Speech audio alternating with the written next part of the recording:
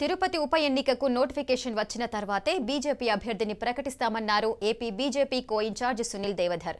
Privatisation అనేది దేశవ్యాప్త policy అని విశాఖ ఉక్కు కూడా అందులో భాగమేనన్న ఆయన ఉద్యోగుల బాధ్యత కూడా కేంద్రానిదేనన్నారు.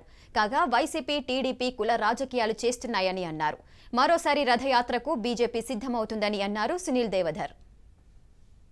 I'm very happy that after a long time, Bharatiya Janata Party contested elections in municipal corporation councils and uh, supported many of the sarpanches and members in uh, panchayat elections.